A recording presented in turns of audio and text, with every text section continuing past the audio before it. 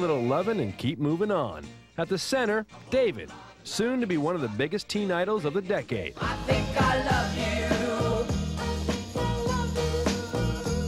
you. This morning I woke up with this feeling. Everywhere I would go, um, chaos would sort of break out. I was, um, I was an accident always waiting to happen, and that freaked me out a lot. When you become too famous, or you become too cool, or you become too, um, especially being associated with like television, it tends to give you the stigma of not having credibility.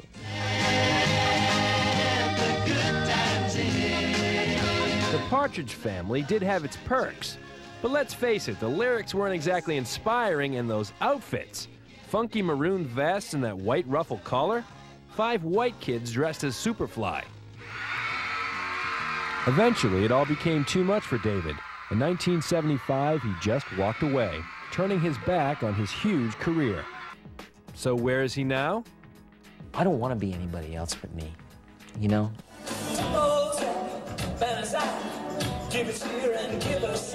David's return to his musical roots. In 1996, he made a triumphant return to the stage, Vegas style, in the big MGM Grand Extravaganza, FX. As he approaches the big 5 0, David's at peace with his former teen idol status. I think I love you. In 1998, he released Old Trick New Dog, which includes some Cassidy classics funked up for a new generation. There's no bridge I wouldn't cross. There's no river that's too wide.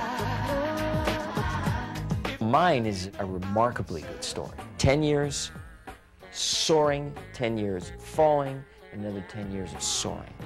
So this time, I got it all because I've been both places and I sure know what I prefer. I really love being me.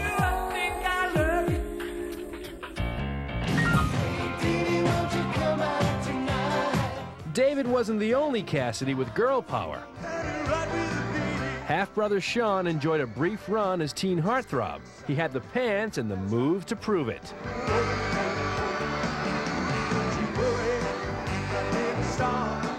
That's no workout tape, that's Shaun's act.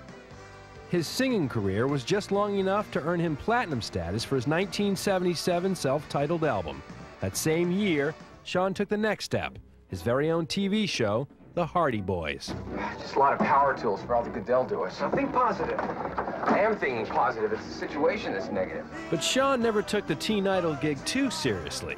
I knew, uh, just as it began, that it would be very short-lived. And I knew that it was very much a, a novelty sort of thing, and I was going to enjoy it as much as I could, but not, uh, you know, base my life on that. Good thinking. So where's Shaun now? In 1994, Shaun and half brother David joined forces for Broadway's critically acclaimed Blood Brothers.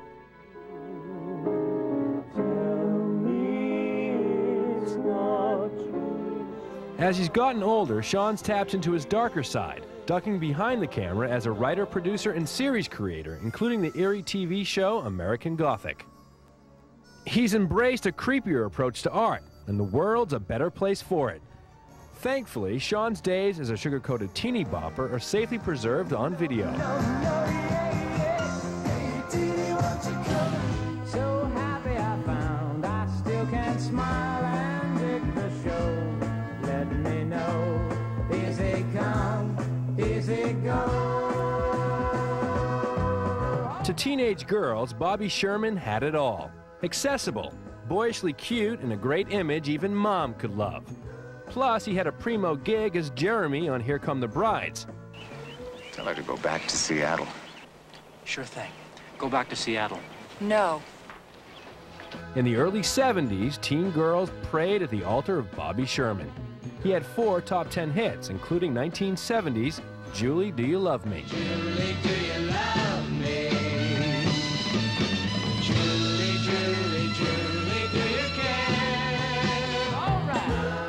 Bobby's shtick was vintage 70s, and as the decade came to a close, so did Bobby's career. So where's Bobby now? Brace yourself, Bobby's a sworn police officer and works as an emergency medical training officer in LA. And it's a labor of love. It's, it's kind of a way of giving something back to the community for them giving something to me. And that was a, long and, and successful and happy career. That early success has gone a long way. Bobby was so smart with his teen idol money that today he's able to donate his salary to a nonprofit group that provides emergency medical services in Southern California. I always look back as being that teenage idol with great fondness. Easy come and easy go. What do you get when you add a cute 16 year old boy, savvy management, and a couple of spots on American Bandstand? Here is a 16-year-old man that has caused quite a stir, the fabulous Fabian. Your earplugs, and quick. Turn loose. Turn loose, I say. Fabiano Anthony Forte, that's Fabian to the rest of the world, was literally scooped off his South Philly doorstep to teen idol stardom. In 1959, he scored three top 10 hits Turn Me Loose, Tiger, and Hound Dog Man, Fabian's tribute to Elvis. He also did some acting. This boy was all the rave for about a year. The 60s ushered in a completely different sound, and Fabian the musician was through. So where's Fabian now?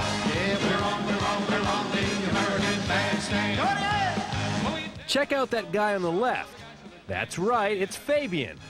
And when he's not palling around with fellow ex-teen idols Frankie Avalon and Bobby Rydell on the Golden Boys tour, he's playing a teen angel in a touring production of Grease. Fabian has acted before, but no amount of recognition can shake teen idol status. I've had some good notices on my acting. I got an Emmy nomination as a producer. I'm even a good father. But when I drop dead, it'll be teenage, ex-teenage idol, Fabian. In 1998, Fabian appeared on Murphy Brown. Even TV's toughest newswoman never got over her Fabian crush. Happy birthday. In 1998, Fabe tied the knot with a true babe, Andrea Lynn Patrick, almost 20 years his junior and a former Miss Pennsylvania. Even though he's hitched, for many grown-up girls, Fabian will always be their favorite teen idol. I used to give a business card out. Fabian Forte, ex-teen idol. I loved it. Neat oh, Fabe.